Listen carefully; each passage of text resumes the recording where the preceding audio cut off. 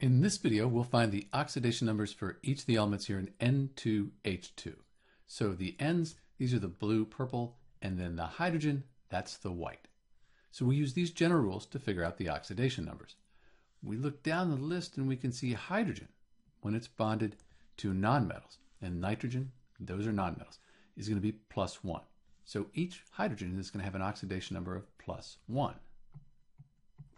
We also know in a neutral compound, we say this is neutral because there's no plus or minus here, all the oxidation numbers have to add up to 0. So we could say plus 1 and plus 1, that's plus 2, plus some number is going to equal the 0 here. So plus 2 and a minus 2, that would equal 0. So the oxidation number on both of these nitrogens combined is going to be minus 2.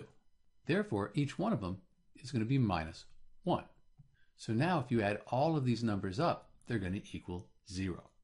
So to recap, we found the oxidation number for what we knew, the hydrogens, and then we used the fact that the neutral compound, like N2H2, all the oxidation numbers add up to 0 to figure out the ones that we didn't know, these two nitrogens here.